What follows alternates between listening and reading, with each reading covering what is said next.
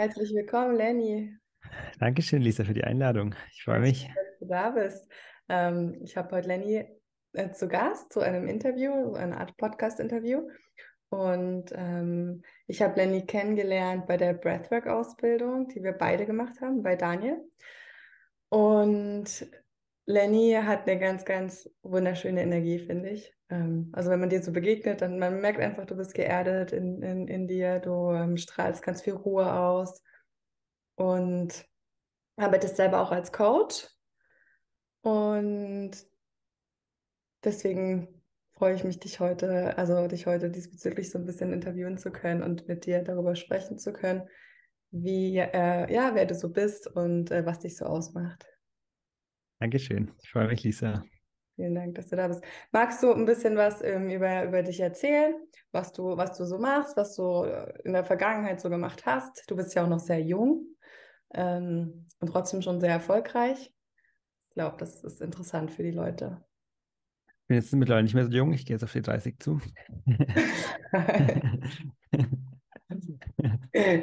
ähm, ja, also ich, ich beze also be beruflich bezeichne ich mich mittlerweile als Achtsamkeitstrainer. Das ist irgendwie so eine Bezeichnung, die sich da jetzt gerade am, am stimmigsten anfühlt.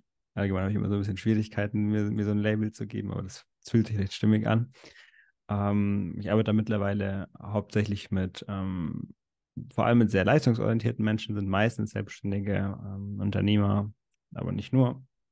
Aber vor allem Menschen, die sehr leistungsorientiert sind, die ähm, sehr stark das Gefühl habe, immer noch mehr machen zu müssen, mehr erreichen zu müssen.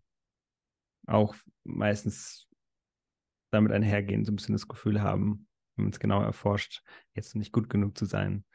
Und dadurch natürlich auch die Zufriedenheit oft einfach so auf die Zukunft projiziert wird. Was dazu führt, dass die Zufriedenheit nicht jetzt da ist.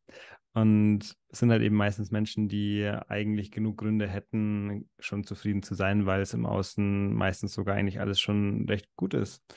Aber halt irgendwie immer alles noch nicht genug ist. Und da helfe ich dabei, dann mehr die Zufriedenheit in sich zu entdecken, herauszufinden, dass die Zufriedenheit äh, die ganze Zeit schon da ist, auch schon die ganze Zeit verfügbar war. Und ja, einfach zu lernen, da mehr damit in Kontakt zu sein. Und dann aus dieser aus dieser Zufriedenheit heraus dann sein Ding zu machen und den Dingen zu machen, die, die einem wichtig sind und wo, wo man nachgehen möchte. Einfach vor allem wirklich rauszufinden, dass diese Zufriedenheit in einem liegt. Und das ist das, was ich mittlerweile mache. Und ich, ich habe ähm, mein, mein Weg war der, dass ich natürlich selber in dieser Rolle war. Ähm, also ich selber in dieser, in dieser, in dieser Position war, ähm, der Menschen sind, die ich jetzt begleite. Also ich habe mich schon recht früh selbstständig gemacht und ähm, habe äh, ja dann schon äh, ja mit Anfang 20 eigentlich schon viele so Ziele erreicht, die ich immer erreichen wollte im Außen, ähm, was finanziell angeht, Reisen angeht, äh, auch so fitnesstechnisch und ähm, das war mir halt bis zu dem Zeitpunkt alles sehr, sehr wichtig, weil ich irgendwie auch geglaubt habe, dass ja, dass das irgendwie der Sinn des Lebens ist, da viel zu erreichen was auch alles cool war, waren schöne Erfahrungen, aber ich habe dann halt irgendwann gemerkt, dass, dass ich irgendwie trotzdem nicht so wirklich glücklich bin oder zumindest so eine, so eine Rastlosigkeit da ist und die ganze Zeit es irgendwie immer weitergehen muss und irgendwann wusste ich aber auch nicht mehr so genau, was ist denn jetzt eigentlich noch weiter und was will ich denn jetzt noch mehr irgendwie da, irgendwie materielle Dinge jetzt irgendwie anhäufen oder so. Und das hat, hat dann bei mir eine Krise ausgelöst und diese Krise hat dann irgendwie so ein bisschen, hm, ja, eine nicht nur ein bisschen, sondern ziemlich stark, ähm, ja, einfach so einen Perspektivenwechsel mit sich gebracht vor einigen Jahren. Und dann diese neue Richtung irgendwie eingeschlagen, Richtung mehr Achtsamkeit, Richtung die Zufriedenheit in mir entdecken. Und mittlerweile darf ich Gott sei Dank sogar andere Menschen dabei begleiten. Ja, das ist das, was ich beruflich mache. Sehr schön. Ja, ich durfte bei dir ja auch schon so eine 90-minütige, so eine kostenlose 90-minütige äh, Coaching-Session äh, in Anspruch nehmen. Und das war auch wirklich, wirklich wunderschön. Habe mich danach total entspannt gefühlt. Und du hast ja gesagt, du, ähm, dein, dein eigener Weg, Weg ging so über die Krise. Ähm, was war so der Weg, dass du damals, ähm, also was hast du, ähm, warst du von Anfang an im Coaching-Bereich oder ähm, warst du erst in einer anderen Branche? Wie hat sich dein, dein Weg so gebahnt in, in, dieser, in diese Szene, sage ich jetzt mal?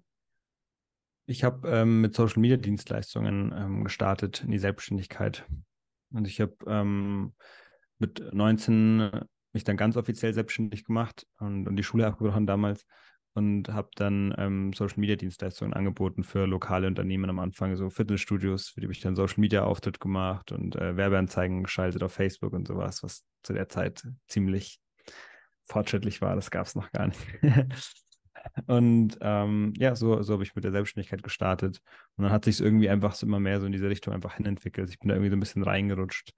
Ich bin dann durch diese, durch diese Marketing-Dienstleistung bin ich dann irgendwie so immer mehr in diese Coaching-Richtung äh, gekommen, weil ich dann einfach, es hat sich irgendwie einfach ganz natürlich entwickelt, dass ich dann irgendwie mit Leuten zusammengekommen bin, die ähm, große Social-Media-Reichweiten hatten und Online-Produkte äh, verkaufen wollten. Dann habe ich dabei geholfen, solche Online-Kurse mit aufzubauen. Irgendwie hat sich dann immer mehr in die Richtung entwickelt, so Coaching-Programme aufzubauen und ähm, irgendwann habe ich gemerkt, ich will das eigentlich selber machen, will selber, selber coachen. Und dort sich dann irgendwie in die Richtung entwickelt. Was würdest du ähm, jemandem mit an die Hand geben, der noch ganz am Anfang steht und selber sagt, oh, ich möchte, kann mir das auch gut vorstellen, so als Coach zu arbeiten oder auch mit dem, was wir gelernt haben, mit Breathwork oder generell so einfach in diese Richtung, ähm, freiberuflich, selbstständig, in, in einer Berater- oder Coach-Funktion. Ähm, wie, wie, wie startet man am besten? Weil mittlerweile gibt es ja auch sehr, sehr, sehr viele Coaches. Ähm, und es ist vielleicht auch nicht mehr, ich weiß es nicht, vielleicht ist es auch nur ein Trugschluss, vielleicht war es damals auch schon genauso schwierig, aber es, es geht ja immer, ich glaube, man unterschätzt es ein bisschen, was das am Anfang auch so bedeutet, so Neukundengenerierung und so. Was denkst du, hebt einen richtig guten Coach ab, der erfolgreich ist von, von den anderen? Also erstmal würde ich auf jeden Fall dem, diesem Gedanken, da der Markt wäre schon übersättigt oder sowas, dem würde ich einfach nicht viel Aufmerksamkeit schenken. Ähm, ist einfach nicht der Fall. Also das wird die nächsten, das wird die nächsten zehn Jahre wird es noch viel, viel mehr werden. Das ist sogar noch ziemlich in den Kinderschuhen, würde ich sagen. Also da, ähm, ja, ist einfach nicht der Fall, dass da der Markt gesättigt ist. Es gibt natürlich super viele Leute, die da nicht viel ähm, reißen werden, weil sie einfach vielleicht nicht wirklich dafür gemacht sind. Ist mhm. einfach so. Aber wenn man das Gefühl hat, dafür gemacht zu sein und das wirklich so seine Aufgabe ist, ähm, irgendwie einfach dann mit Menschen zu arbeiten, positiven Teil irgendwie beizutragen, ähm, dann wird das auf jeden Fall auch klappen. So viel erstmal dazu. Und mh, hm, ich würde sagen, das Wichtigste, also ich meine, es kommt natürlich darauf an, Coach ist natürlich jetzt ein super breit gefächerter Begriff und da gibt es natürlich tausend Themen, aber grundsätzlich würde ich sagen, ist eigentlich egal, was man, was man, in was für einem Bereich man irgendwie unterwegs ist. Im Grunde will man ja eigentlich meistens, in den meisten Fällen ist es der Fall, will man seine Kunden ähm, dabei verhelfen, glücklicher zu sein. Selbst wenn ich jetzt irgendein Business Coaching mache, wo ich, wo ich sage, auf der Oberfläche will ich meinen Kunden dabei helfen, dass sie mehr Umsatz machen, beispielsweise. Warum wollen die mehr Umsatz machen? Weil die sich davon mehr Zufriedenheit erhoffen. Ähm, so ist es mit allen anderen Themen genauso. Wenn ich ein Beziehungscoaching mache, warum wollen die Menschen ein Beziehungscoaching buchen, weil sie eine Beziehung haben wollen. Warum wollen sie eine Beziehung haben? Weil sie glücklich sein wollen und sich das von der Beziehung erhoffen. Das heißt, ähm, glücklich sein ist, würde ich sagen, immer der Antrieb hinter, hinter allem, was wir machen und hinter allem, was wir so erreichen wollen, weil wir glauben, dass wir das Glück irgendwo suchen müssen und finden müssen. Und deswegen halte ich es für sehr essentiell und sehr wichtig, als, als sehr gut, als guter Coach ähm, die Zufriedenheit, das Glücklichsein in sich gefunden zu haben. Mhm. Ähm, weil das dann automatisch in deine Arbeit mit einfließt. Und das führt auch, das führt auch erfahrungsgemäß, ich habe hab ja auch sehr, ich habe auch einige Jahre mit sehr, sehr vielen Coaches gearbeitet, mit mehreren hundert und ich habe hab da das auf jeden Fall beobachten können, dass die Coaches, die, ich sage jetzt mal, am, am meisten mit sich im Reinen sind, das heißt wirklich eine Zufriedenheit in sich fühlen, ähm, dass das auch die erfolgreichsten sind. Also auch erfolgreich im Sinne von, dass es denen einfach möglichst leicht fällt, Kunden zu gewinnen. Ähm, es gibt natürlich auch super viele Coaches, wie das halt in jedem anderen Beruf genauso der Fall ist, die, ich sage jetzt mal, aus so einer Mangelmotivation heraus ähm, auch diesen Beruf ausüben. Also die sagen, ich, ich werde jetzt Coach, das ist halt dann eine, eine Strategie des, des Egos, um Anerkennung zu bekommen. So, ah, okay, wenn ich Coach bin, dann schauen Leute zu mir auf. Dann kann ich denen äh, sagen, wie das Leben funktioniert. Das, dann, dann bin ich glücklich, wenn ich dann diese Aufmerksamkeit bekomme. Und also es ist natürlich sehr verlockend, ähm, aus der Motivation heraus irgendwie anzugehen. Und das passiert auch oft. Das funktioniert aber nicht so gut. Also es kann sein, dass man dann damit auch im Außen erfolgreich ist und äh, Geld macht. Ist aber meistens einfach nicht so, nicht so ein Qualität ist dann einfach, die Qualität ist einfach nicht sehr hochwertig. Es ist nicht so erfüllend. Die Kunden haben nicht, sind nicht so glücklich mit der Zusammenarbeit in der Regel, weil sie halt nur oberflächliche Befriedigung im besten Fall bekommen, wenn überhaupt. Und ähm, deswegen würde ich sagen, ist das eigentlich das Wichtigste. Das ist wirklich das Allerwichtigste. Und umso mehr man diese Zufriedenheit in sich, sich findet, findest du auch einfach, also ich meine dann auch, was dann so Marketing und sowas angeht, ähm, um, umso authentischer zeigt man sich halt auch einfach. Also viele reden von Authentizität, aber, aber wissen, glaube ich, gar nicht so wirklich, was es eigentlich ist. Umso mehr man halt wirklich bei sich ist, desto authentischer ist man. Desto mehr ist es einfach die, die, natürliche Version von dir, die sich da zeigt. Und umso natürlicher die Version von dir ist, die sich da zeigt, desto mehr fühlen sich Menschen davon angezogen. Und deswegen ist, ist das auch das beste Marketing, würde ich sagen, oder der, der Schlüssel zu gutem Marketing. Ähm, einfach ein Mensch zu sein, der automatisch anziehend auf andere ist, weil, weil dieser Mensch mit sich im Reinen ist, zufrieden ist. Es verkauft auch viel, viel besser. Also wir merken auch, dass Verkaufen dann auch einfach so kein, kein, kein, kein Akt der Anstrengung mehr ist. So es ist einfach so, dass Menschen einfach dann zu einem kommen wollen. Ja, weil nicht diese ganzen Geschichten drüber, drüber sind, gell, die du eigentlich gar nicht bist. Ja. Das funktioniert halt immer, das funktioniert halt nicht wirklich. Also wie gesagt, selbst wenn, selbst wenn man damit äh, Geld verdient, das kann schon sehr gut funktionieren.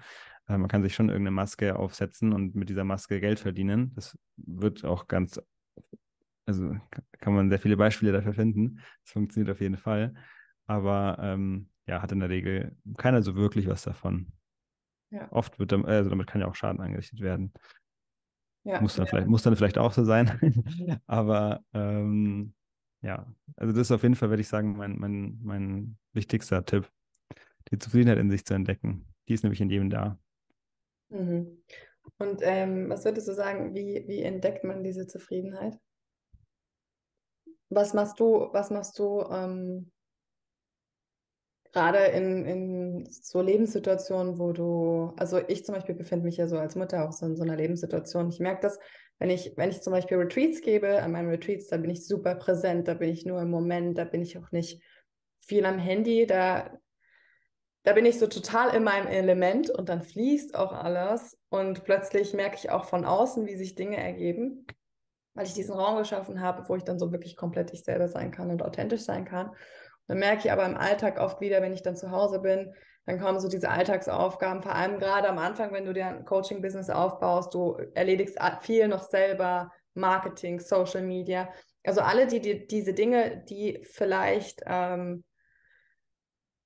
mh, mm, es dir auch ein bisschen schwer machen, achtsam zu sein in dem Moment oder dich mit dir selbst zu verbinden, weil du dann halt auch automatisch so viel im Außen bist. Ähm, und einfach viel zu tun hast. Was, was empfehlst du ähm, Menschen, die sich so in, in Situationen befinden oder die zum Beispiel vollberuflich gerade noch arbeiten und sich nebenbei eine Selbstständigkeit aufbauen wollen und einfach merken, ich habe einfach einen extremen Mental Overload sozusagen. Also ich bin, äh, es ist total mhm. mental übergeladen. Wie, wie schaffe ich es da, bei mir zu bleiben? So, okay, wenn ich einfach dich direkt als Beispiel nehme, weil, weil das, ja. wenn du es schon so, wenn du jetzt da schon dein Beispiel reinbringst, dann ist es so, ja. so ein bisschen konkreter. Ähm, also ich meine, ich denke, es ist voll, voll, voll gut zu sehen, dass ähm, dann in solchen Situationen wie auf dem Retreat dass dann, also ich gehe jetzt davon aus, von dem, was du gesagt hast, dass, dass da würdest du sagen, da bist du wahrscheinlich auch recht zufrieden, oder? Da ist häufig Zufriedenheit da. Ja, da fehlt mir auch nichts. Oder wie auf der Breathwork-Ausbildung oder so. Ja. Ähm, also das ist irgendwie so, und du hast ja auch gerade gemeint, dass, dass da halt sehr viel Präsenz da ist. Ähm, dass du da sehr viel Moment bist. Und also das ist schon mal wichtig, weil ich glaube, du, du weißt es schon, aber ähm, vielleicht nochmal für die Zuhörer, dass halt die Zufriedenheit halt dann da ist, wenn wir wirklich im Hier und Jetzt sind. Und im Hier und Jetzt sein heißt in Akzeptanz mit dem jetzigen Moment sein. Ähm, ganz bewusst wahrnehmen, was jetzt gerade da ist. Ganz, ganz häufig ist halt bei den meisten Menschen, fast sogar die meiste Zeit, ist einfach so ein, so ein Widerstand da gegenüber dem jetzigen Moment. Mhm. Manchmal auch nur ein ganz subtiler. Ähm, also auch schon so übermäßiges Denken ist ganz oft eine Form von Widerstand gegenüber dem jetzigen Moment. Ungeduld, Langeweile, Unruhe, Rastlosigkeit. Das sind alles so Formen von Widerstand gegenüber dem jetzigen Moment. Und wenn der da ist, dann wird keine Zufriedenheit wahrgenommen. Dieser Widerstand überdeckt dann sozusagen die Zufriedenheit, die die ganze Zeit da wäre. Und dann gibt es bestimmte Aktivitäten, die es einem dann irgendwie leichter machen, in der Akzeptanz zu sein, weil es einfach Aktivitäten sind, die man richtig gerne macht oder weil es Aktivitäten sind, die einfach sehr viel Aufmerksamkeit erfordern, wie auch auf dem Retreat. Klar, dann, dann äh, musst du ja auch für deine, deine, äh, die Menschen da sein, die, die jetzt bei dir gebucht haben, dann willst du da auch dein Bestes geben, bist dann einfach, deswegen ist da deine Aufmerksamkeit vollkommen da. Und dann ähm, bist du automatisch in der Akzeptanz mit dem jetzigen Moment, selbst wenn es vielleicht anstrengend ist. Es ist ja auch nicht so, dass jetzt ja, so ein Retreat eben nicht anstrengend ist.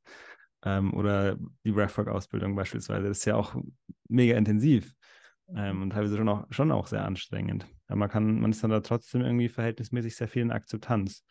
Und dann merkt man, dass da eine Zufriedenheit da ist. Und dann glaubt man halt, dass, dass die Akzeptanz und die Zufriedenheit von bestimmten Aktivitäten halt abhängt. Und dass manche Aktivitäten dazu führen, dass dann eine Akzeptanz, dementsprechend Zufriedenheit da ist. Und manche Aktivitäten, beispielsweise Alltagsaktivitäten ähm, oder irgendwelche Aktivitäten, die halt einfach gemacht werden müssen, bei denen ist es dann halt nicht möglich. Das ist irgendwie so ein unbewusster Glaube. Da ist dann nicht möglich. Die sind dann so ein Mittel zum Zweck, um dann wieder irgendwann zu einer Aktivität zu kommen, die mich dann wieder in Akzeptanz bringen lässt und die mich dann wieder glücklich macht. Aber das ist halt ein äh, Irrglaube, ein Missverständnis. Also ich würde sagen, wir haben in jedem einzelnen Moment die, die Möglichkeit, dem jetzigen Moment mit Akzeptanz zu begegnen. Unabhängig von dem, was jetzt gerade da ist. Ganz klar, manche Momente machen es einem deutlich einfacher, gerade wenn, wenn der jetzige Moment halt angenehm ist. So, wenn die Erscheinungen im jetzigen Moment angenehm sind, ist es natürlich einfacher, dem jetzigen Moment mit Akzeptanz zu begegnen, als wenn sie unangenehm sind. Mhm. Aber auch den unangenehmen Erscheinungen kann man mit einer Akzeptanz begegnen. Mhm. Wenn jetzt beispielsweise ein körperlicher Schmerz da ist, kann man dem mit einer Akzeptanz begegnen. Den Moment nennt man dann wahrscheinlich nicht Zufriedenheit äh, oder glücklich sein, aber zumindest so ein im Frieden sein. Ich kann mit dem Schmerz im Frieden sein. Da ist kein psychologisches Leid da. Ja, das erinnert mich hm. gerade, was du gerade erzählst, erinnert mich gerade an, wir haben auch im Retreat, ich kennst du so Augentropfen, Sananga nennen die sich. Dieses sind ja, so schon was davon gehört, ja. aus dem Amazonas und ähm, ist das perfekte Beispiel für das, was du gerade gesagt hast, weil die mhm. brennen wirklich, wenn du sie richtig anwendest, nach links, nach rechts schaust, die brennen wie die Hölle für über eine Minute und du hast das Gefühl, du hältst es nicht aus. Und die einzige Möglichkeit, es auszuhalten und das auch in gewisser, also es ist einfach, sich diesen Moment komplett hinzugeben und das einfach da sein zu lassen und diesen Schmerz einfach zu akzeptieren und äh, damit zu sein. Ja. Und dann entfaltet diese Medizin auch seine Kraft, weil es bringt dich, es bringt dich wirklich in diesem Moment dieser Schmerz, und ich glaube, das ist vielleicht auch so die tiefer gehende Lektion dahinter ist, dass halt auch Schmerz oder unangenehme Momente, zumindest in so einem Fall, kann es dich extrem schnell in deinen Körper bringen und in den jetzigen Moment eben. So, und manchmal ist ja Schmerz in unserem Körper eben auch da, um uns in den jetzigen Moment zu bringen und zu sagen, hey, guck mal, hier ist jetzt gerade was, was irgendwie vielleicht mal angeschaut werden muss oder so. Ja. Voll, sehr gutes Beispiel. Oder auch ähm, Eisbaden. Wir waren ja auch schon zusammen im, im Eisbad. Äh, das, ist halt, das, ist halt, auch, finde ich, ein sehr gutes Beispiel. Ähm, das ist ja auch das, was eigentlich alle mal beschreiben, dass, ähm, ich meine, ganz offensichtlich ist, ist die Kälte halt nicht angenehm. Also man geht da jetzt nicht rein, weil das eine angenehme Erfahrung ist. Ähm, aber irgendwie macht diese unangenehme Erfahrung was Angenehmes mit einem paradoxerweise. Äh, und zwar, dass sie einen halt irgendwie so richtig in den Moment bringt, dass, der, dass dieser Moment so intensiv ist, dass äh, es gar keine Möglichkeit gibt, ähm, jetzt in Gedanken zu sein, irgendwie über die Vergangenheit oder die Zukunft nachzudenken, sondern man ist einfach nur hier und, und man hält es auch nicht wirklich aus, wenn man dem jetzigen Moment mit Widerstand begegnet. Also man, man wird in diese Akzeptanz so reingezwungen fast schon. Und ähm, das ist halt dann das, das, das, äh, das, das lehrreiche Potenzial, was solche Erfahrungen zumindest haben oder wahrscheinlich wie mit den Augentropfen auch. Ähm, und das ist halt wirklich was, was man, was man üben kann und was man lernen kann. Man muss natürlich für sich erstmal erkennen, dass das eine Wahrheit ist dass ähm, Zufriedenheit erstens das ist, was ich die ganze Zeit am allermeisten haben möchte. also wonach ich eigentlich die ganze Zeit im Außen suche. Und dann festzustellen, da finde ich es nicht. Mhm. Ähm, und dann als zweites zu erkennen, diese Zufriedenheit kommt dann zum Vorschein, wenn ich dem jetzigen Moment mit Akzeptanz begegne. Das heißt, wenn ich ganz bewusst da bin und ich wirklich da sein lasse, was jetzt gerade da ist. Und dann im dritten Schritt festzustellen, dass das in jedem einzelnen Moment meines Lebens zugänglich ist. Ich finde den ersten Punkt, den du gesagt hast, äh, sehr gut. Der hat bei mir nochmal sowas angestoßen. Du hast gesagt, sich erstmal dafür zu entscheiden, dass man zufrieden äh, sein möchte. Ähm, ich sage ich sag immer zu meinen Klienten, wir Menschen machen Dinge aus zwei verschiedenen Gründen. Der eine Grund ist, weil wir ein bestimmtes Gefühl suchen. Das ist meistens eben Zufriedenheit oder Glück. Oder weil wir etwas ganz Bestimmtes überhaupt nicht fühlen möchten. Ähm, also und dann in dem Moment das irgendwie suchen, um, die, um diese Emotionen eben nicht zu spüren, ja. Ähm, und also ich von mir selber, ich glaube, es gab in der Vergangenheit tatsächlich vielleicht Momente, wo ich mir, wo ich unterbewusst das gar nicht wollte, nur weil ich es nicht kannte. Weil ich einfach nicht, weil mir das gar nicht, weil Sicherheit für mich nicht mit, mit Zufriedenheit und Ruhe assoziiert, assoziiert war, sondern mit ganz viel Disharmonie, mit ganz viel mhm. Ähm, Streitigkeiten, mit ganz viel Adrenalin und Noradrenalin und Cortisol. Also wir sind ja auch an unsere Biochemie gewöhnt und wenn halt wir im ständigen chronischen Stress sind, dann ist dies, auch wenn dieser Cocktail in unserem Körper total toxisch für uns ist, aber in gewisser Weise ist da auch so eine Abhängigkeit da und dann vielleicht auch erstmal sich die Frage zu stellen, möchte ich das wirklich? Ähm, oder ja, erlaube ich mir das auch zufrieden zu sein? Ähm, trotz vergangener Erfahrungen vielleicht ist echt, äh, glaube ich, erstmal ganz, ganz wichtig, weil wenn dieser ja. Wille nicht da ist, ist es schwierig. Ja, auf jeden Fall, ist echt so. Ja, das ist echt, das ist äh, voll gut, was du sagst. Das ist mega spannend. Das fällt mir auch immer mehr auf, dass, ähm, dass es für sehr viele Menschen einfach ähm, sich sehr unsicher anfühlt, dem jetzigen Moment so hinzugeben. Also äh, sich in diesen jetzigen Moment so reinfallen zu lassen, die Gedanken loszulassen, das, das ist automatisch gleich Angst auslöst, weil es so unsicher ist, das ist, das ist so unbekannt irgendwie. Ja. Ähm, und dann ist, ist, der, dann ist ja gleich wieder der Impuls davon, wieder wegzugehen und wieder sich wieder in, in die Gedanken zu flüchten und so und in die, in die Anspannung. Das kennt man wenigstens irgendwie. Und es gibt dann so, ein, so eine Illusion von Kontrolle. Ähm, ja, und da, da ist echt, wie du, wie du es gerade gesagt hast, da darf man sich wirklich fragen, bin ich, ähm, äh, bin ich bereit dafür, ähm, das loszulassen? Ja. Und möchte ich, mir, möchte, ich, möchte ich mir das erlauben, so dieses, dieses Leid auch loszulassen? Ich würde wirklich sagen, dass, dass ähm, auch bezüglich so freien Willen und sowas, da ist immer, immer sehr großes, äh, großes Thema, sehr philosophisches Thema, wo man viel hin und her diskutieren kann. Aber ich, ich würde sagen, dass ähm, wo wir einen freien Willen haben, ist wirklich zu, zu entscheiden, möchte ich leiden oder nicht. Ja, finde ich sehr und, schön. Und ähm, viele Menschen ähm, möchten das Leid nicht loslassen. Also man sagt, du hast die Möglichkeit, das Leid loszulassen. Das bedeutet aber auch, dass du alles loslassen musst. Bedeutet aber auch, dass du deine Identität loslassen musst. Bedeutet auch, dass du die, die Zukunft ähm, loslassen musst, die Zukunftsvorstellung, die du hast. Wenn du wirklich das Leid komplett loslassen willst, dann, dann musst du all diese Anhaftungen loslassen. Bist du bereit dafür? Und viele Menschen sind nicht bereit dafür. Und das ist auch in Ordnung, okay. Dann wird noch ein bisschen weiter gelitten. Das ist, das ist die Entscheidung, ist auch in Ordnung. Aber vielleicht ist es so, dass man sagt, hey, ich bin, ich bin bereit dafür, es loszulassen. Zumindest Schritt für Schritt. Passiert natürlich sowieso nicht von heute auf morgen, sondern es ist natürlich auch ein Prozess. Aber ja, darf man sich wirklich fragen, ob man bereit dafür ist. Ich habe auch das Gefühl, dass es manchmal ganz viel damit zu tun hat, ob man selbst die, ähm, den Glauben daran hat, ob man es verdient hat. Ja. Also ähm, das war was, was bei mir halt ganz ähm, extrem vorgeherrscht hat, ist, dass für mich einfach nichts Gutes wert. So. Ähm, oder weil ich einfach ganz, ganz, wenn ich ganz, ganz tief reingegangen bin, dann, weil der Glaube halt da war, dass ich das einfach auch nicht verdient habe. So ein mhm. glückliches und gutes Leben zu führen. Und ich glaube auch, du redest ja auch von ähm, oft auch von radikaler Akzeptanz. Ja, also vielleicht auch erstmal akzeptieren diese Gedanken, die da sind, das erstmal anzunehmen, diese Emotionen, die da sind. Ähm, weil das ist auch immer so ein Schritt, den vergessen die meisten, gell? Die wollen gleich ins Loslassen springen. Ähm, und jetzt will ich das nicht mehr haben, jetzt will ich das nicht mehr fühlen, jetzt will ich sofort aber das erstmal auch anzunehmen, wo ich gerade bin und welche Emotionen damit einhergehen und was ich alles ähm, erlebt habe, ähm, ist, glaube ich, auch ganz, ganz wichtig. Hundertprozentig. Also da wird Loslassen auch einfach meistens falsch verstanden. Also Loslassen, es ist halt nicht so, dass, wenn ich, dass ich jetzt einfach eine Angst oder Scham oder so einfach so loslassen, dann jetzt ist es weg. Ähm, sondern ich, ich lasse so den Widerstand dagegen los. Mhm. Also eigentlich nehme ich die Scham an, ich nehme die Schuld an, ich nehme die Angst an. Das ist wirkliches Loslassen. Mhm. Ähm, sich aufhören dagegen zu wehren. Dass du es nochmal sagst. Ja. ja. Ja, absolut. Und dadurch lässt man aber, dadurch lässt man halt dann auch diese, diese Identifikation damit mit der Zeit los.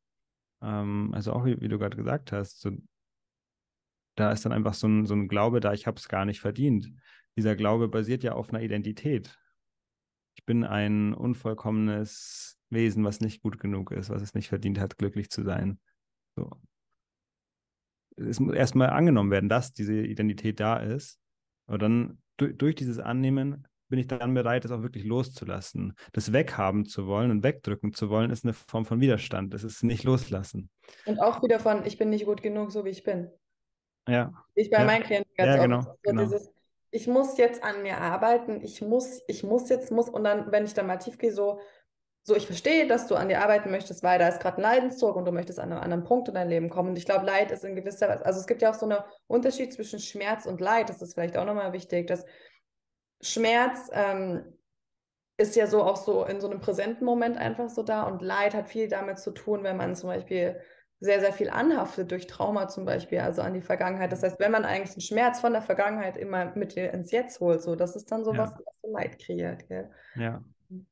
Und ich sehe es bei Klienten ganz oft, das ist so, ja, ich, ich, wie, ich muss an mir arbeiten, weil ich noch nicht, weil mit mir was nicht stimmt, weil ich falsch bin. So. Und das ist dann auch so, diesen Shift erstmal hinzukriegen, du bist so gut genug, wie du bist und so richtig.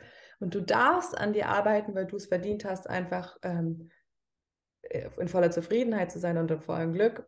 Aber mhm. es ist nicht ein, ich muss an mir arbeiten, weil ich immer noch nicht, ich muss, ich muss Emotionen zulassen. Ich muss es, es ist dann wieder so, wenn so tausend Meter Perspektiven aufgemacht werden. Ja, und ich näher halt den Glauben, nicht gut genug zu sein damit die ganze ja. Zeit.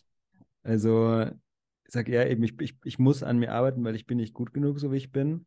Ähm, diese Aussage nährt ja diesen Glauben ja. schon wieder nicht gut genug zu sein. Klar, und es ist auch schwer, das äh, irgendwie so mal zu durchbrechen, wenn das halt, wenn das halt irgendwie vielleicht Jahrzehnte bereits schon irgendwie so, so die Realität ist in der man lebt. Aber ähm, ja, es ist wirklich so. Letztendlich die, die eine, eine ultimative Wahrheit wäre so, dass jeder Mensch gut ist, so wie er ist. Ausnahmslos jeder.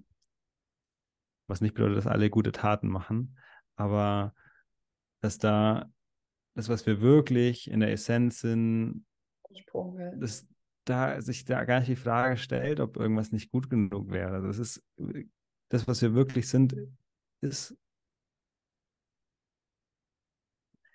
ist einfach. Und wenn man das wirklich für sich erkennt, dann, dann lässt man eben diese, diese undienlichen Glaubenssätze, diese undienlichen Identitäten nach und nach einfach immer ein bisschen mehr los. Mhm. Und dann kommt einfach diese, diese Zufriedenheit immer mehr zum Vorschein. Die ist die ganze Zeit da. Das ist einfach unsere, das ist einfach unsere wahre Natur. Das ist auch kein, Zufriedenheit ist auch kein Gefühl, was kommt und geht. Ähm, das ist, das ist vielmehr der, der, der durchgehende Hintergrund, der die ganze Zeit da ist, der nur die meiste Zeit überdeckt ist von Gedanken, von Gefühlen, von Sinneswahrnehmungen, weil man halt ausschließlich damit irgendwie fasziniert ist und die Aufmerksamkeit irgendwie nur darauf, darauf liegt. Wenn man da mal so dieses so tiefer einsinkt in sich, dann merkt man, das ist die ganze Zeit da. Und dann merkt man, wenn, ich, wenn man damit in Kontakt ist, merkt man, in dem Moment ist kein, ist, ist kein Problem da. Es ist alles gut, so wie es ist. Ich bin genau da, wo ich sein soll. Mhm. Und das kann, das kann zu einem dauerhaften Verständnis werden. Und es ist nicht nur ein Verständnis, was man sich irgendwie eine nette Affirmation, die man sich einredet und dann hoffentlich glaubt, sondern man spürt, dass es die Wahrheit ist. Ja. Und erst dann fruchtet es so richtig. Aber es ist für jeden zugänglich. Ja, und ich finde auch ganz wichtig, nochmal dazu zu sagen, dass auch, also auch neben dieser Zufriedenheit ähm, immer, also weil die Leute glauben dann, glaube ich, schnell so, okay, das ultimative Ziel ist es jetzt nur noch im, im Lotussitz meditierend zufrieden zu sein und da zu sitzen. Aber neben einer Zufriedenheit, weil diese Zufriedenheit, hast du gesagt, das ist keine Emotion oder kein Gefühl, sondern so ein grundlegender Zustand, können Emotionen existieren, wie Trauer, Wut, wenn wir zum Beispiel auch Schicksalsschläge ja. erleiden oder sowas, dann, dann ist das ganz präsent und dann bedeutet das aber nicht, dass diese Zufriedenheit automatisch weg ist, weil es ist wie so ein, so ein Urvertrauen, das ist einfach wie so eine Verankerung, die wir einfach haben, ob das jetzt mit Gott ist oder wie man das nennen möchte, der wir uns einfach bewusst sind zu jeder Zeit und daneben dürfen auch andere Emotionen ähm, existieren.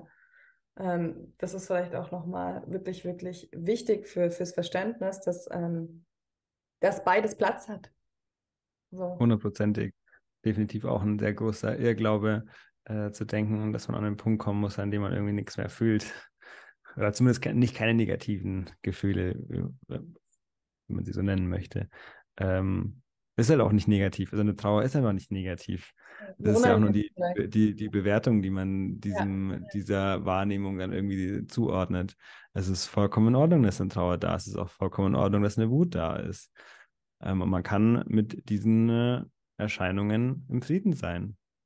Ja. Und dann entsteht da in der Regel auch kein destruktives Verhalten draus, äh, wenn man damit im Frieden ist. Ja. Das ja, aber dann entsteht vor allem dann, wenn dann Widerstand dagegen da ist. Wenn ich die ganze Zeit die Wut zurückhalten will und da, damit im Widerstand bin, dann platze ich irgendwann und dann sage ich irgendwas, was, was ich danach bereue oder mache irgendwas, was ich, was ich danach bereue. Wenn ich mit der Wut in, im Frieden bin, dann fühle ich die Wut, stelle fest, dass vielleicht gerade eine Grenze überschritten wurde, beruhigt mich dann ein bisschen, kann dann das im besten Fall gut kommunizieren. Das ist einfach ein viel dienlicheres, äh, dienlicherer Umgang. Und ich verliere diesen Frieden eben nicht, der der die ganze Zeit da ist. Ja, auf jeden Fall. Und was du schon sagst, wir, wir tendieren halt auch sehr dazu, Dinge zu bewerten. Ja, also und darunter auch Emotionen zu bewerten. Und das sieht man ja auch schon im Umgang mit Kindern. Ganz, ganz, wie viele Eltern das auch einfach gar nicht aushalten können, wenn das wenn das Kind gerade eine Wut zeigt oder eine, oder eine Trauer, eine Trauer, ich sehe es immer wieder bei, bei, mein, bei den Großeltern von meiner Tochter, wenn sie anfängt zu weinen, dann ist immer gleich, nein, nein, und dann werden alle möglichen Ablenkungsstrategien versucht, weil das gerade einfach gar nicht ausgehalten und ertragen werden will. Und das, mhm. dem Kind, das Kind, und das sehen wir bei Kindern so schön, denen ist das aber eigentlich völlig, völlig egal. Die, die, sind, die können so schön im Moment sein, die, die können de deren ähm, Emotionen sind so stark und obwohl sie so stark sind, können sie innerhalb von einer Sekunde wieder wechseln und vom Weinen ins Lachen gehen oder andersrum. Also es ist, ähm, von denen können wir sehr, sehr viel lernen und ich sehe das immer wieder, wie, wie viel da bewertet wird schon. So dann sieht man aber auch da, wie, wie das natürlich dann das Kind dann beigebracht bekommt, so ja. mit der Zeit. Ah, das Weinen ist nicht gut. Mhm. Ähm, das ist nicht erwünscht. Ja. Muss ich zurückhalten. Ja. Ja. Und Wut genau, wie, genau, genau gleich. Und meine, meine Tochter äh, ist jetzt auch in einem Alter, die haut auch und kratzt. Und wenn sie wütend ist, weil sie halt noch gar keine Worte hat, das zu artikulieren. Ähm, und ich glaube, für so ein Kind ist es auch wahnsinnig wertvoll, einfach zu sagen, auch ich sehe, dass du total wütend bist gerade. Mhm. Aber leider können wir es halt trotzdem nicht so und so machen. Und später auch dem Kind zu artikulieren, du kannst die Wut so und so ausdrücken, aber die darf da sein, die muss eben nicht weg sein. Ja. Weil ähm, das ist schon, oder auch die, genauso die Trauer, aber es ist halt, man sieht, dass wir ähm, gerade bei Kindern ähm, in so einer Gesellschaft leben, die einen ganz, ganz schwierigen Umgang mit Emotionen pflegt, weil sie irgendwie das Gefühl hat, da, äh, eben das bewerten zu müssen. Das ist jetzt schlecht oder das ist jetzt unangebracht oder das ist jetzt dies. Ich glaube, in der Wertfreiheit liegt ganz, ganz viel Kraft auch, weil dann kann man mit sich selber, man kann es viel besser annehmen. Ja, auf jeden Fall. Wertfreiheit ist Annahme und Bewertung ist Widerstand. Ja. Das ist eigentlich immer so. Also es gibt so, ich finde, es gibt einfach so verschiedene Ausprägungen von Widerstand, auf die man auch so achten kann. Und Bewertung oder Verurteilung ist definitiv eine Form davon. Das ist immer Widerstand. Also egal, ob ich jetzt andere verurteile oder ob ich äh, mich verurteile, ähm, das ist Widerstand. Anhaftung ist eben eine Form von Widerstand, also Anhaftung an Vergangenes, an eine bestimmte Zukunftsvorstellung oder auch an irgendwie schöne ähm, Objekte, die jetzt gerade im Bewusstsein da sind, die nicht weggehen sollen. Ähm, das ist dann auch schon wieder eine Form von Widerstand. Ungeduld, Unruhe, wie gesagt. Und das hat ja in gewisser, in gewisser ähm, Weise auch eine Funktion und das teilweise, also zum Beispiel auch so unsere soziale Gruppenbildung, verurteilen, also dieses Verurteilen, dass ich zum Beispiel verurteile, dass jemand anders jemanden umbringt oder jemand anders sein Kind ähm, misshandelt oder so. Es hat ja auch eine Funktion, weil sich dadurch Werte bilden, so was wollen wir, was wollen wir nicht und so. Aber es ist halt wichtig, auch mit einem Bewusstsein, glaube ich, daran zu gehen, gell? Ähm, naja, es gibt halt einen Unterschied zwischen, zwischen ähm, Feststellen und Verurteilen. Also ich kann halt feststellen, okay, dieser Mensch hat jemanden umgebracht. Ähm, so ein Mensch möchte ich nicht gern in meiner, ähm, meiner Nähe haben. Es wäre gut, wenn dieser Mensch in einem Gefängnis wäre. Ähm, das, das, und das kann vollkommen ohne, ohne eine Verurteilung passieren. Das ist einfach eine ganz neutrale, logische Feststellung. Ähm, genauso wie ich bei mir selber irgendwas feststellen kann, wo ich sage, okay, da würde ich beim nächsten Mal irgendwie vielleicht versuchen, anders zu handeln, weil das jetzt einfach nicht so die beste Herangehensweise war. Aber das ist dann überhaupt keine Form von, von Verurteilung, gar, kein, gar keine, diese, nicht diese, diese negative Energie, diese verurteilende Widerstandsenergie, die ist dann da einfach nicht involviert. Ähm, und ich glaube ehrlich gesagt, dass die kein, überhaupt keine dienliche Funktion hat, dass sie eigentlich nur destruktive Funktion hat, Widerstand. Ähm, das, das, ist auch noch so ein weiteres Missverständnis diesbezüglich, dass dann geglaubt wird, wenn ich jetzt einfach alles akzeptiere, dann ähm, ja, geht ja nicht, ich kann ja nicht alles akzeptieren. Nee, es geht ja auch nicht darum, alles auf der, auf der Verstandesebene zu akzeptieren. Der Verstand kann nicht alles akzeptieren. Das ist, das, das ist die Aufgabe des Verstandes, dass er irgendwie alles einordnet und, und analysiert und Sachen irgendwie so in Schubladen steckt. Das, das macht er halt einfach. Aber ähm, die Frage ist, bin ich mit dem in Akzeptanz oder ist da, ist da ein Widerstand von mir da? Verurteilung ist echt ein sehr gutes Beispiel dafür. Also ja, nur weil ich ja. aufhöre zu verurteilen, heißt es nicht, dass ich nicht trotzdem noch irgendwas, äh, ja, einfach, einfach Tatsachen feststelle und dann eine mhm. Meinung dazu habe. Aber es ist einfach keine verurteilende Energie da mehr da. Und das ist definitiv möglich auch bezüglich sich selber. Und das macht natürlich einen riesigen Unterschied. Ähm, wenn man glaubt, auch ich, ich müsste mich selber verurteilen, um mich zu bessern. Das ist, glauben ganz, ganz viele. Also ähm, ich muss mit mir selbst im Krieg sein, damit ich, damit ich dann besser werde. Das, und das Gegenteil ist der Fall. Also umso mehr ich mit mir im Krieg bin, desto, desto größer wird dieser Krieg mit mir. Es wird halt nicht besser. Ähm, auch das Verhalten wird in der Regel nicht besser. Also wenn ich mich jedes Mal dafür fertig mache, dass ich jetzt Schokolade esse, ähm, dann wird es in der Regel, wird dieses Schokoladenessproblem in der Regel immer größer dadurch. Ähm, aber ich kann auch einfach das annehmen. Ich kann ich feststellen, dass ich vielleicht zu viel Schokolade esse. Ähm, und dann bin ich erstmal in Akzeptanz damit dass das so ist. Nehme ich das erstmal wahr. Und dann aus dieser Akzeptanz heraus kann ich, habe ich, hab ich dann auch die Möglichkeit, das mal wirklich liebevoll zu erforschen. Warum ist denn das der Fall? Unterdrücke ich vielleicht irgendwas damit? Ähm, kommt es immer dann, wenn ich irgendwie mich alleine fühle oder was auch immer. Und dann aus dieser Akzeptanz heraus kann ich das viel, viel dienlicher angehen. Und dann passiert da wirkliches Verständnis, da passiert wirkliche Erkenntnis und dann verändert sich das Verhalten vielleicht sogar auch. Sehr wahrscheinlich sogar. Auf jeden Fall wahrscheinlicher, als wenn ich mit mir im Widerstand bin und wenn ich mich die ganze Zeit dafür verurteile. Finde ich sehr schön, was du sagst. Ja. Ich habe auch das Gefühl, dass ähm, die Art und Weise, wie wir mit uns sprechen in unserem Kopf, dieses, ähm, man kann es jetzt äh, aus verschiedenen Konzepten sehen, aber vielleicht dieses erwachsene Ich, was mit dem, mit dem inneren Kind spricht oder so, zum Beispiel im, im, beim Beispiel von Schokolade, dass das oft gar nicht unbedingt wir sind, sondern manchmal auch die Stimme unserer Bezugsperson. Ja, und wenn wir ständig als Kind ähm, Kritik erfahren haben, du bist nicht gut genug und du machst das falsch und Vergleiche und irgendwie verbale, vielleicht auch äh, physische Gewalt, dann tendieren wir einfach dazu, uns, also diese, das, diese Stimme der Bezugsperson geht einfach weiter und wir glauben, das sind wir. Aber das sind wir eigentlich gar nicht. Mhm.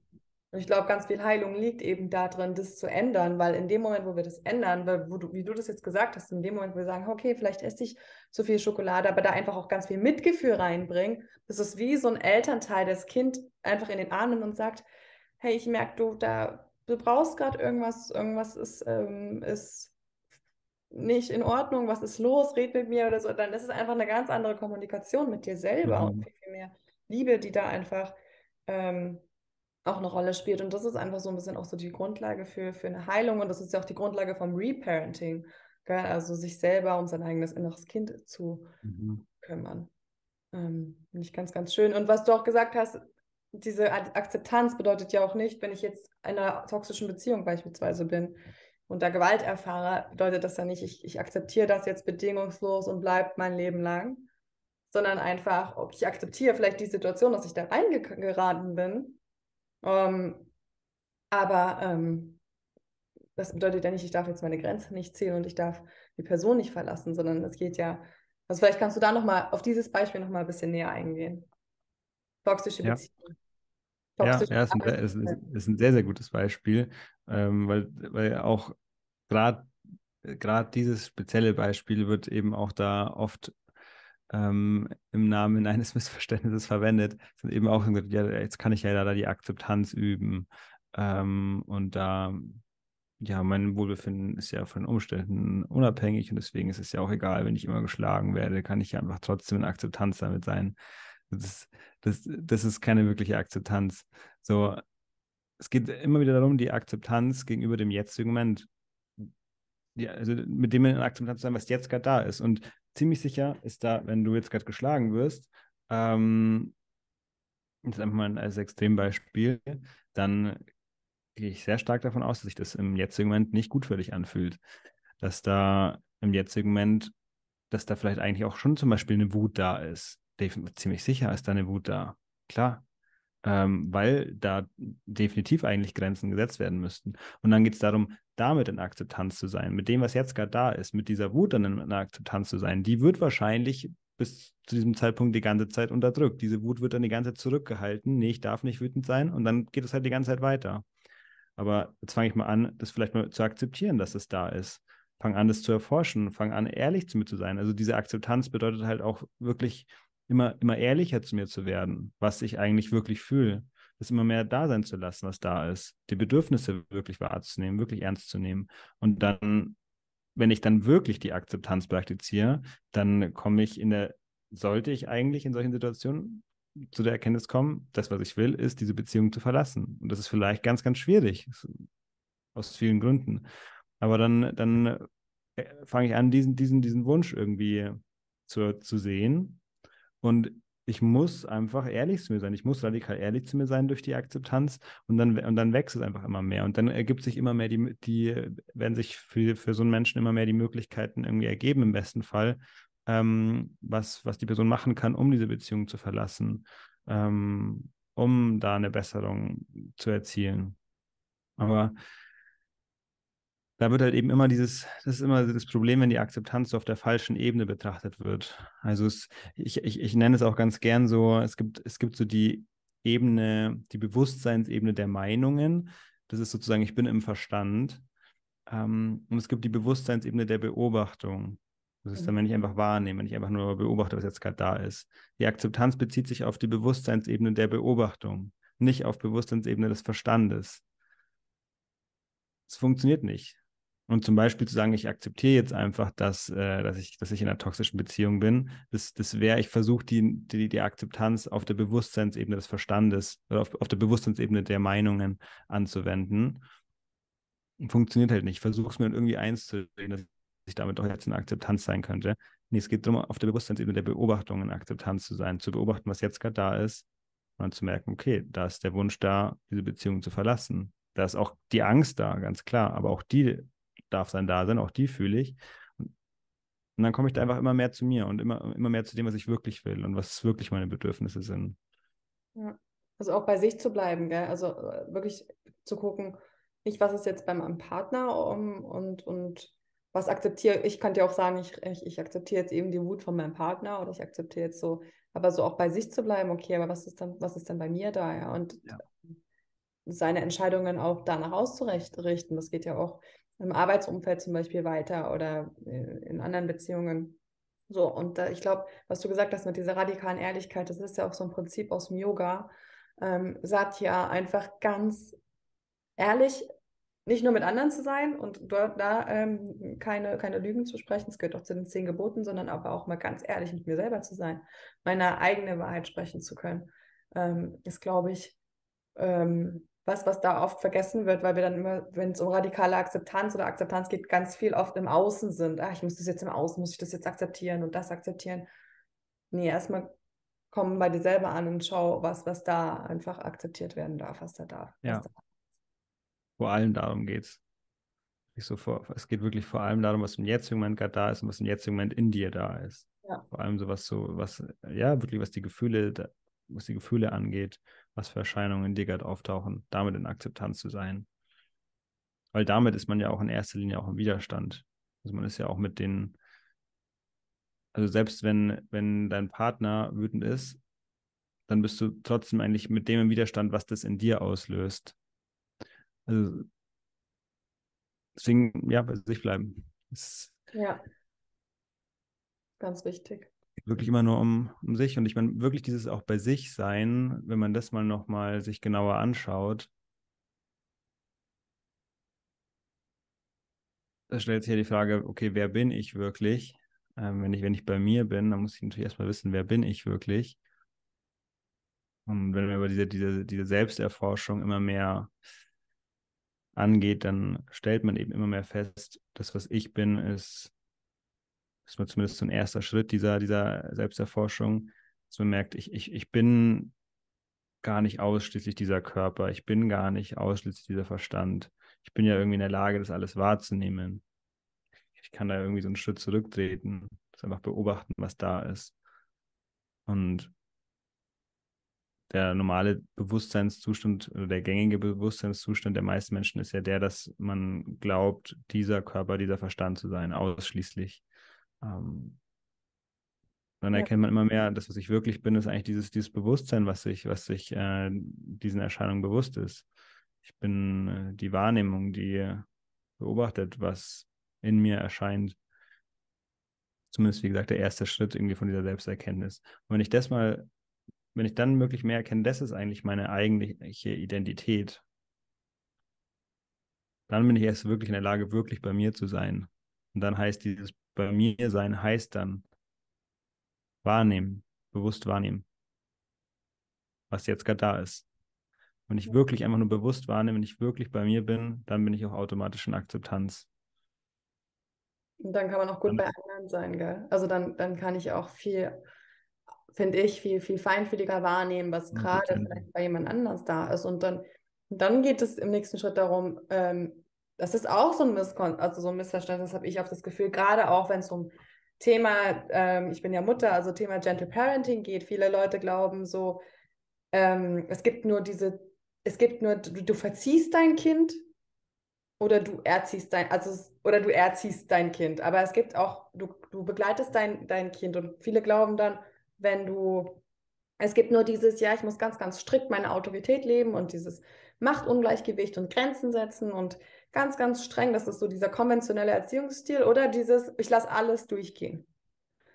Und das ist aber, es gibt immer noch einen Mittelweg und das ist, ich sehe das bei meiner Tochter. Es gibt einfach manchmal Momente, wo ich merke, okay, nee, bei mir ist jetzt gerade, ähm, gerade zum Beispiel jetzt auch mit dem Stillen, sie ist jetzt schon fast anderthalb Jahre alt, ich möchte das jetzt gerade nicht und das kommuniziere ich ja auch. Ich bin jetzt gerade ähm, nicht in der Öffentlichkeit, will ich nicht, dass du mein T-Shirt einfach runterreißt.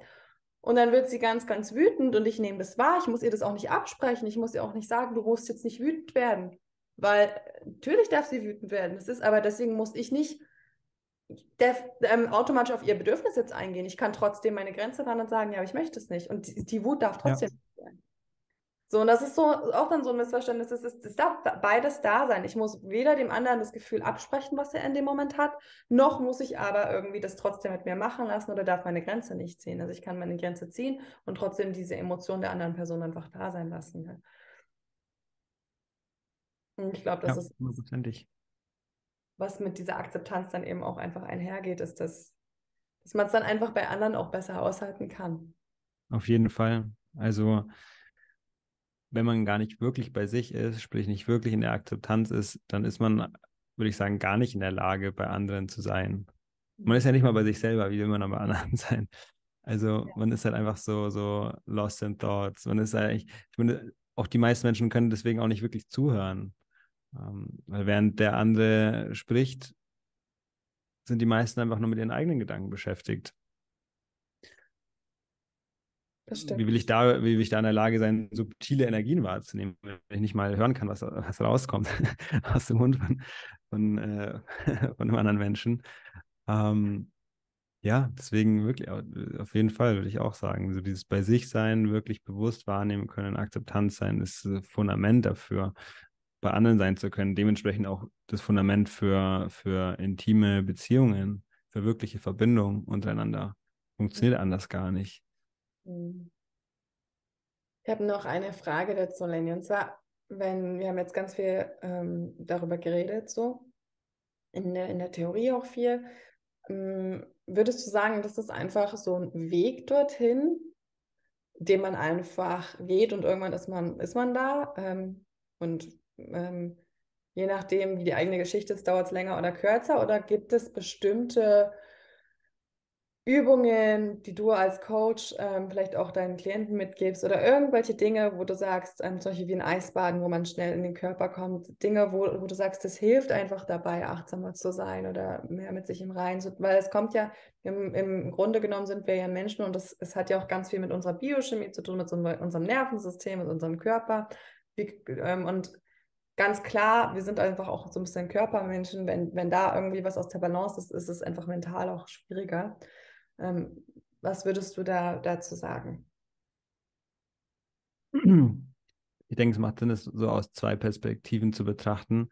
Einmal so aus so einer absoluten Perspektive. Ähm, ist halt, die absolute Perspektive ist schon auch sehr wichtig. Ähm, also zu erkennen, grundsätzlich gibt es eigentlich nichts zu tun. Ähm, also du bist natürlich die ganze Zeit schon du selbst und du bist die ganze Zeit schon bei dir selbst. Du bist die ganze Zeit schon Wahrnehmung, du bist die ganze Zeit schon Bewusstsein. Du, diese Zufriedenheit, der, der innere Frieden ist die ganze Zeit schon da, ist, ist nur überdeckt. Ähm, das ist so eine, diese eine absolute, absolute Sicht. Ähm, und dann gibt es natürlich auch die relative Sicht, die menschliche Sicht, ähm, in der es auch einfach ein Prozess ist, diese Akzeptanz, diesen, diesen inneren Frieden immer mehr zu etablieren und ähm, immer mehr damit in Kontakt zu sein. Und aus dieser relativen Sicht betrachtet, äh, macht es auf jeden Fall Sinn, gewisse Praktiken ähm, auszu, auszuüben. Ähm, es macht Sinn, ähm, eine, eine, Meditationspraxis beispielsweise zu haben. Ähm, wenn man im Alltag überhaupt nie die Zeit dazu hat, mal wirklich zur Ruhe zu kommen oder glaubt, die Zeit nicht zu haben, ähm, dann kann es definitiv Sinn machen, sich mal eine Meditationspraxis einfach mal einzuplanen. Was bedeutet, ich mir einfach mal 10 oder 20 Minuten am Tag einfach mal rausblock, wirklich für mich, die einfach mal nur dafür da sind, einfach nur bewusst wahrzunehmen. Dass ich mir einfach mal das in, sozusagen einfach als Termin rausblock, um es überhaupt mal irgendwie praktizieren zu können. Ähm, Yoga. Yoga kann auch wirklich sehr, sehr dienlich sein. Ich meine, Yoga ist ja auch dafür da. Ähm, Breathwork, finde ich, ist halt einfach ähm, eine sehr effektive Methode, auch wenn man sich eben anschaut, was es zum Beispiel mit dem Nervensystem eben macht, was es mit Gehirnwellen macht. Ähm, ist, ist, ist Breathwork definitiv mega interessant und auch alle unterschiedlichen Arten davon. Aber gerade so für den Alltag finde ich dann auch wirklich so Wim Hof-Atmungen ähm, total interessant. Ähm, oder natürlich auch einfach so sehr regulierende ähm, Atemtechniken wie dann Box Breathing oder sowas, einfach um das Nervensystem wirklich zu entspannen. Und äh, die, die, Gehirnwellen äh, wechseln ja dann auch tendenziell so von Beta zu Alpha-Wellen, was aber auch dazu führt, dass da mehr Entspannung da ist, mehr, ähm, mehr Klarheit, einfach mehr diese, diese, dieses Beobachterbewusstsein. Das kann definitiv sehr helfen. Bis es sich irgendwann einfach so einstellt, dass, dass man eigentlich nahezu die, die meiste Zeit einfach so in, die, in, diesem, in diesem State so bleibt. Also ja. auch wenn man jetzt zum Beispiel ähm, sich so Studien anschaut, die äh, die Gehirne von äh, Menschen gescannt haben, die einfach regelmäßig meditieren ähm, oder von so buddhistischen Mönchen, bei denen ist es äh, ganz krass. Die sind auch dann einfach, die meisten Menschen sind ja die meiste Zeit in, in, in Beta-Wellen, was einfach so dieser, dieser Alltagszustand ist und einfach dieses rationale Denken, aber auch Ängste und Sorgen vor allem dann damit auch verbunden werden. Und der Alpha-State, in der dann dieses bewusste Entspannen ist. Der Körper ist dann meistens sehr entspannt, man ist trotzdem noch sehr achtsam, sehr, sehr ja. bewusst, wie gesagt. Und eben solche Menschen, die viel meditieren, die sind dann einfach auch bewiesenermaßen die meiste Zeit in einem Alpha-State statt Beta. Also das wird dann einfach mehr so der, der Grundzustand, in diesem friedvollen Beobachtermodus zu sein. Was dann gar nicht bedeutet, dass man dann ein buddhistischer Mönch werden muss, der dann die ganze Zeit nur noch meditiert. Ähm, auch die meditieren ja nicht die ganze Zeit, die machen ja auch irgendwie, da, haben auch irgendwie Tätigkeiten und gehen irgendwie in der Arbeit nach und sind aber trotzdem halt einfach in diesem, in diesem State. Und aber auch in unserer westlichen normalen Welt ist man in der Lage, an den Punkt zu kommen. Deswegen würde ich sagen, ja, solche, solche, die Klassiker, Praktiken. Ja. Und aber auch Spaziergänge in der Natur, finde ich. Ich finde Spaziergänge in der Natur, merke ich immer wieder, ist einfach, für mich persönlich funktioniert das einfach am aller, allerbesten sogar. Also, wenn ich einfach, wenn ich gerade nicht alleine vor allem in der Natur bin, ähm, einfach, ja, bringe mich einfach sofort in diese, in diese friedliche Beobachterrolle. Einfach wahrnehmen, was gerade da ist. Und, ja. ja. Für, mich, für mich funktioniert Atemarbeit in der Natur sehr gut.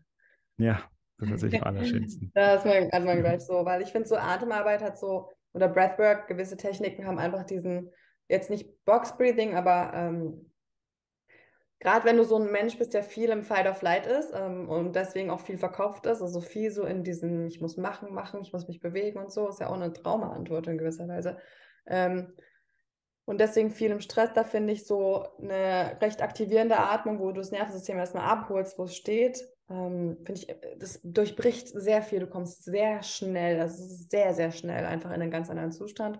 Und das in der Natur ja. ist einfach ja. so, dass das Wasser, das Bäume und sowas einfach auch regulierend auf den Vagusnerv, ähm, also oder, oder gut für unseren Vagusnerv einfach dann regulierend aufs Nervensystem wirken. Ja, das, ja. ja, das merkt man echt. Das merkt man echt sofort. Ja, sehr schön. Ja, hey, ich danke dir ähm, vielmals für das Gespräch. Hat richtig gerne, Lisa. Ich danke dir. Richtig schönes Gespräch. War wunderschön. Möchtest du noch was irgendwie zu deinem Kanal sagen oder zu deinem ähm, ähm, wo man dich finden kann? Wenn man sich davon jetzt angesprochen gefühlt hat, was ich so erzählt habe, dann kann man einfach mal bei mir auf Instagram vorbeischauen oder auf YouTube. Da ähm, gibt es Videos und Posts zu, zu solchen Inhalten. Ähm, genau, man hat natürlich auch die Möglichkeit, eben in Form von Coaching mit mir zusammenzuarbeiten. Ähm, da kann man sich einfach auch bei mir melden, wenn das interessant ist. Und äh, ja, ansonsten gibt es auch, gibt's auch ähm, von mir und meiner Freundin zusammen in Zukunft immer mehr äh, Retreats ähm, also da darf man dann einfach die Augen offen halten, falls sowas interessant wäre. Ja, ansonsten einfach Instagram ist so die beste Plattform, um mit mir in Kontakt zu treten. Da lese ich die Nachrichten auf jeden Fall und antworte auch. Lenny Schönbach heißt du da, glaube ich, gell? Genau, genau. Genau, Lenny Schönbach. Aber ich schreibe es auch nochmal, ähm, so dass ihr es einfach lesen könnt und genau, dann einfach direkt ähm, suchen könnt. Vielen Dank, Lenny. Vielen, vielen Dank für das wundervolle Gespräch und ähm, ja, wir ähm, hören uns hoffentlich bald wieder. Ich danke dir, Lisa, hat mich auch sehr gefreut. Dankeschön.